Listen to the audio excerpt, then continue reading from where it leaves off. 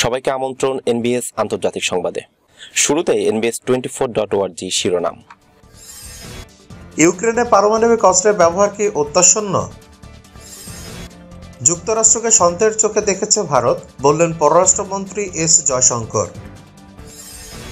পুতিনের আদেশে প্রতিবাদ জানাতে রুশদের প্রতি আহ্বান জেলনেস্কির। বক্তব্য দিয়ে বের হয়ে গেলেন রুশ পররাষ্ট্রমন্ত্রী।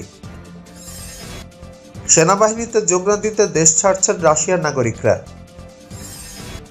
এবং মাসামিনের মৃত্যুর পর ইরানের নৈতিকতা পুলিশের ভূমিকা নিয়ে প্রশ্ন। দর্শক রাশিয়া প্রেসিডেন্ট ভ্লাদিমির পুতিনের নতুন আদেশের প্রতিবাদ জানাতে রুশ নাগরিকদের প্রতি আহ্বান জানিয়েছেন ইউক্রেনের প্রেসিডেন্ট ভলোদিমির জেলনেস্কি। এই বিষয়টিকে আপনি কীভাবে দেখছেন? ভিডিওটিতে একটি লাইক দিয়ে কমেন্ট করে জানিয়ে দিন আপনার মূল্যবান মতামত। দর্শক, এতক্ষণ শুনছিলেন শিরোনাম, এবার বিস্তারিত। বিস্তারিত খবর পড়ছি আমি ফজলে রাব্বি। ইউক্রেনে পারমাণবিক অস্ত্রের ব্যবহার কি অত্যাসন্ন গত বুধবার ইউক্রেন যুদ্ধে পারমাণবিক অস্ত্র ব্যবহারের ইঙ্গিত দেন রাশিয়ার প্রেসিডেন্ট ভ্লাদিমির পুতিন। ওই দিন ভাষণে রুশ প্রেসিডেন্ট বলেন, পশ্চিমা বিশ্ব তার দেশকে ধ্বংস করতে চায়। তাই ভৌগোলিক অখণ্ডতা রক্ষার জন্য সম্ভাব্য সব উপায় ব্যবহার করবে তার দেশ এবং এটি কোনো ফাঁকা বলি নয়। বিশ্লেষকদের মধ্যে পুতিনের এই বক্তব্য সরাসরি পরমাণু অস্ত্র ব্যবহারের ইঙ্গিত। এদিকে পুতিনের বক্তব্যের পর রাশিয়ার সাবেক প্রেসিডেন্ট এবং বর্তমান জাতীয় নিরাপত্তা পরিষদের উপপ্রধান দিমিত্রি মেদবেদেব হুঁশিয়ারি দিয়ে বলেছেন, ইউক্রেন থেকে বিচ্ছিন্ন হয়ে রাশিয়া যোগ দেওয়া ভূখণ্ড সহ পুরো রাশিয়াকে রক্ষার জন্য পরমাণু অস্ত্র এবং অন্য কৌশলগত অস্ত্র ব্যবহার করা হতে পারে। বৃহস্পতিবার তিনি আরও বলেন, ইউক্রেন থেকে দখল করা ডনেটস্ক এবং লুহানস্ক সহ অন্যান্য অঞ্চলে গণভোটের ব্যবস্থা করা হবে এবং গণভোট পরিচালনা করবেন রাশিয়ার নিয়োগ করা কর্মকর্তারা এবং এসব অঞ্চলে স্বাধীনতাকামী নেতারা। বেদবেদেব বলেন, এ সমস্ত দখল করা অঞ্চল রাশিয়ার সঙ্গে একীভূত হবে এবং রাশিয়া সেগুলোকে গ্রহণ করবে। এবং এসব অঞ্চলকে আর কখনো ইউক্রেনের কাছে ফেরত দেওয়া হবে না। এই সমস্ত অঞ্চলের নিরাপত্তা রক্ষার জন্য উল্লেখযোগ্যভাবে রাশিয়া সেনা মোতায়েন করা হবে। তিনি বলেন, রাশিয়ার ভূখণ্ড রক্ষার জন্য শুধুমাত্র সেনা সমাবেশ করা হবে না, বরং নিরাপত্তা রক্ষার জন্য রাশিয়ার কৌশলগত পরমাণু অস্ত্র এবং অন্য কৌশলগত অস্ত্র ব্যবহার করা হবে। উল্লেখ্য আছে, তেইশে সেপ্টেম্বর থেকে ডনেটস্ক এবং আরও কিছু অঞ্চলে গণভোট অনুষ্ঠিত হবে এবং সাতাশে সেপ্টেম্বর পর্যন্ত এই গণভোট চলবে। গণভোটের মধ্য দিয়ে সমস্ত অঞ্চল রাশিয়ার সঙ্গে একীভূত হবে। তবে গণভোটের বিরোধিতা করছে ইউক্রেন এবং পশ্চিমা বিশ্ব। ইউক্রেনের পারমাণবিক অস্ত্রের ব্যবহারকে অত্যাসন্ন ব্রিটিশ সংবাদ মাধ্যম বিবিসির বিশ্লেষক গর্ডন করেরা বলেছেন, পারমাণবিক অস্ত্র ব্যবহার এখনও বেশ দূরের ব্যাপার। তিনি বলেছেন রাশিয়া সামরিক নীতি অনুযায়ী শুধুমাত্র রুশ রাষ্ট্র হুমকির মুখে পড়লে পারমাণবিক অস্ত্র ব্যবহার করা হবে। পুতিন তার হুঁশিয়ারি দেওয়ার সময় পশ্চিমা হুমকির জবাব দেওয়ার কথা বলেছেন। আর ফাঁকা বুলির কথাটা তিনি বলেছেন। রাশিয়ার ভৌগোলিক সীমা হুমকির মুখে পড়ছে এমন একটা পরিস্থিতির প্রসঙ্গে। তবে গর্ডন করেরা বলেছেন ইউক্রেনের তথাকথিত গণভোটের পর রাশিয়ার ভূখণ্ডের সীমানা কত দূর পর্যন্ত সম্প্রসারিত হবে বলে পুতিন মনে করেন, সেটা একটা গুরুত্বপূর্ণ প্রশ্ন। যুক্তরাষ্ট্রকে সন্দেহের চোখে দেখেছে ভারত, বললেন পররাষ্ট্রমন্ত্রী এস জয়শঙ্কর। দীর্ঘ প্রায় পাঁচ দশক ধরে যুক্তরাষ্ট্রকে সন্দেহের চোখে দেখে এসেছে ভারত। যুক্তরাষ্ট্রের সামগ্রিক পররাষ্ট্রনীতি গভীর সতর্কতার সঙ্গে মূল্যায়ন করেছে দেশটি। কিন্তু এখন যুক্তরাষ্ট্রের সঙ্গে দেশটির অন্যরকম এক সম্পর্ক তৈরি হয়েছে। ভারত তার আগের ধারণাগুলো থেকে সরে এসেছে। যুক্তরাষ্ট্র ভারত সম্পর্ক নিয়ে এই প্রথম এত খোলামেলা ভাবে কথা বলেছেন দেশটির পররাষ্ট্রমন্ত্রী ডক্টর এস জয়শঙ্কর। ইন্ডিয়ান এক্সপ্রেসের এক প্রতিবেদনে তথ্য নিশ্চিত করে বলা হয়, যুক্তরাষ্ট্রের নিউ ইয়র্কে Columbia University School of International and Public অ্যাফেয়ার্সে উদীয়মান উদীয়মান বিশ্ব ব্যবস্থায় ভারত শীর্ষক এক অনুষ্ঠানে কথা বলতে গিয়ে এমন কথা জানিয়েছেন এস জয়শঙ্কর। তিনি বলেন, মার্কিন যুক্তরাষ্ট্রের প্রতি আমাদের মনোভাব আগে একদম অন্যরকম ছিল। চল্লিশের দশকের শেষের দিক থেকে যে বছর ক্লিন্টন ভারত সফরে আসেন, প্রায় পঞ্চাশ বছর ধরে সম্পর্কটা অন্যরকম ছিল। আর সেটা বিভিন্ন কারণে। মানে সেটা শুধু ভারত দোষী বা মার্কিন যুক্তরাষ্ট্র দোষী ছিল, তেমনটা নয়। সত্য হলো, অনেক সতর্কতার সঙ্গে, সন্দেহের সঙ্গে মার্কিন যুক্তরাষ্ট্রকে দেখত ভারত। তিনি আরও বলেন, এটি একটি অত্যন্ত গুরুত্বপূর্ণ বিষয় ছিল। তবে যুক্তরাষ্ট্রের সামগ্রিক পররাষ্ট্রনীতিকে যে গভীর সন্দেহের চোখে ভারত দেখত তেমন নয়, তবে গভীর সতর্কতার সঙ্গেই দেখত। এছাড়াও তিনি জানিয়েছেন, যুক্তরাষ্ট্র ভারত সম্পর্কের মতোই অতীতের ছায়া থেকে সরে এসে পরস্পরের সঙ্গে সম্পর্ক আরও ঘনিষ্ঠ করতে আগ্রহী ভারত এবং চীন। পুতিনের আদেশের প্রতিবাদ জানাতে রুশদের প্রতি আহ্বান জেলনেস্কির রাশিয়ার প্রেসিডেন্ট ভ্লাদিমির পুতিনের নতুন আদেশের প্রতিবাদ জানাতে রুশ নাগরিকদের প্রতি আহ্বান জানিয়েছেন ইউক্রেনের প্রেসিডেন্ট ভলোদিমির জেলনেস্কি।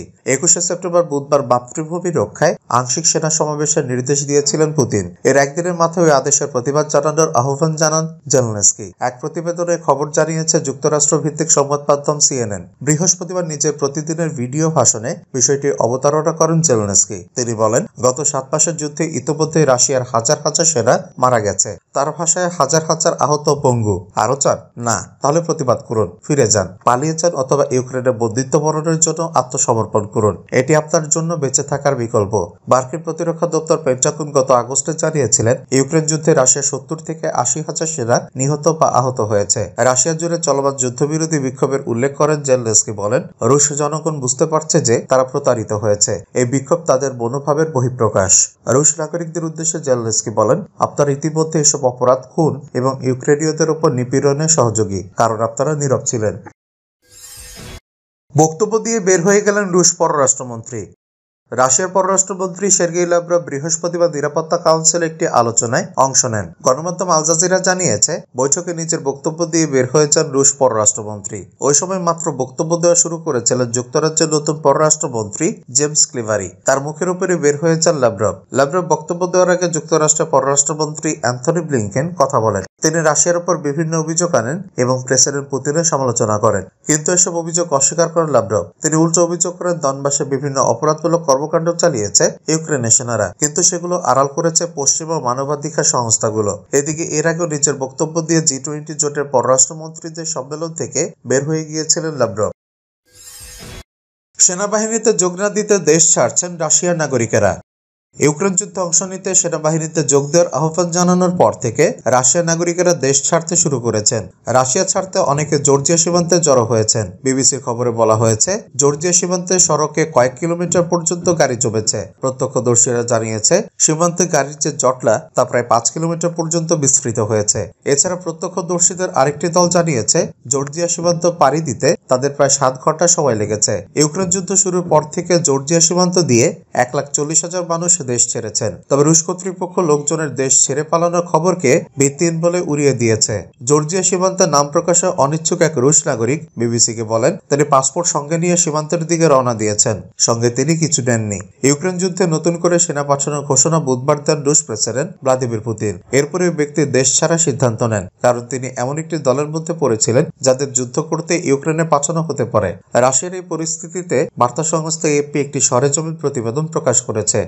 সেখানকার পরিস্থিতি দিয়ে দিমিত্রি নামে এক ব্যক্তির সঙ্গে কথা বলেছেন এএফপি সাংবাদিক। এই ব্যক্তি রাশিয়া ছেড়ে আর্মেনিয়া যাচ্ছেন। এএফপি কে জানান, স্ত্রী ও সন্তান রেখে আর্মেনিয়া যাচ্ছেন তিনি। দিমিত্রি বলেন, আমি যুদ্ধে যেতে চাই না, যুক্তিহীন এই যুদ্ধে আমি প্রাণ হারাতে চাই না। এটা ভাইকে হত্যার যুদ্ধ। এদিকে প্রেসিডেন্ট ভ্লাদিমির পুতিনের ঘোষণার পর এই সিদ্ধান্তের বিরোধিতায় বিক্ষোভ শুরু হয় রাশিয়ায়। বিক্ষোভ থেকে এক হাজারের বেশি রুশ নাগরিককে গ্রেপ্তার করেছে রাশিয়ান পুলিশ। বিক্ষোভের সময় সবচেয়ে বেশি গ্রেপ্তার করা হয় মস্কো এবং সেন্ট পিটারবার্গ শহর থেকে। Russian human rights group OVD info জানিয়েছে, সব মিলিয়ে এক হাজার তিনশো বিক্ষোভকারীকে গ্রেফতার করা হয়েছে। এছাড়াও বিক্ষোভ হয়েছে সাইবেরিয়ার ইরকুতস্ক শহর ও ইর কাতেরিনবার্গের মতো শহরগুলোতে। মাসামিনীর মৃত্যুর পর ইরানের নৈতিকতা পুলিশের ভূমিকা নিয়ে প্রশ্ন।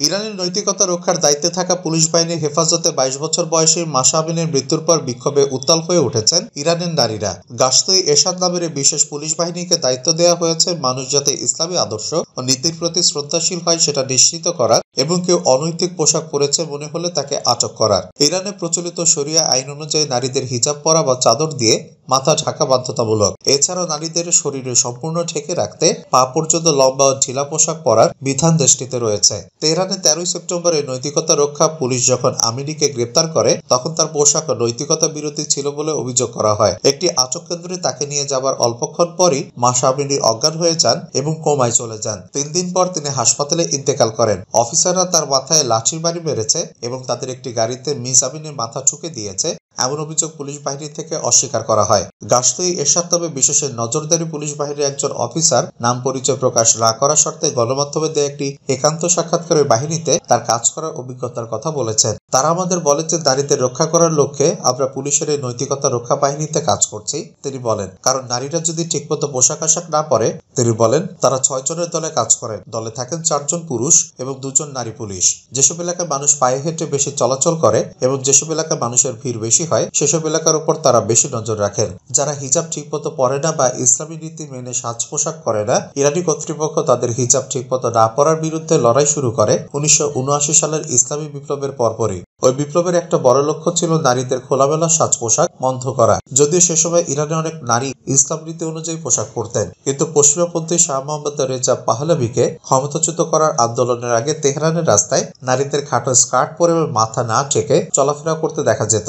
ইরান ইসলামী প্রজাতন্ত্রে পরিণত হবার কয়েক মাসের মধ্যে শাহের শাসনামলে পাশ্চাত্যের অনুকরণ করে নারীদের তথাকথিত অধিকার সুরক্ষিত করে যেসব আইন প্রণয়ন করা হয়েছিল সেগুলো তুলে নেবার প্রক্রিয়া শুরু হয়। বিপ্লবের ঠিক পরপরই রাস্তায় রাস্তায় পুরুষ ও নারীরা উপহারের মোড়কে মুড়ে নারীদের হিজাব বিলি করত ইরানের সরকার। বিপ্লবের নেতা আয়তুল্লাহ রুহলা খমিনি উনিশশো সালে সাতই মার্চ ডিগ্রি বা নির্দেশনামা জারি করেন যে সব নারীকে তাদের কর্মক্ষেত্রে বাধ্যতামূলকভাবে হিজাব পড়তে হবে। এরপর উনিশশো একাশি সালে নারী ও কিশোরীদের ইসলামী রীতি অনুযায়ী আব্রু রক্ষা করার উপযোগী পোশাক পরা আইনত বাধ্যতামূলক করা হয়। এর অর্থ হলো নারীদের চাদর পরতে হবে, অর্থাৎ তাদের পা অব্দি পুরো শরীর ঢাকা, ঢিলা পোশাক পরতে হবে এবং তার সাথে পরলে নিচে ছোট একটা স্কার্ফ পরতে হবে অথবা পুরো দস্তুর হিজাব এবং তার সাথে লম্বা হাতা ওভারকোট দিয়ে শরীর ঢাকতে হবে। পার্লামেন্ট উনিশশো তিরাশি সালে সিদ্ধান্ত নিল, যেসব নারী প্রকাশ্যে মাথা ঢাকবে না তাদের শাস্তি হিসাবে চুয়াত্তর বার বেত্রাঘাত করা হবে। আর সম্প্রতি সচার সঙ্গে আরও যোগ দিয়েছে ষাট দিন পর্যন্ত কারাবাস। তবে এরপরও তখন থেকে এই আইন পুরোপুরি কার্যকর করতে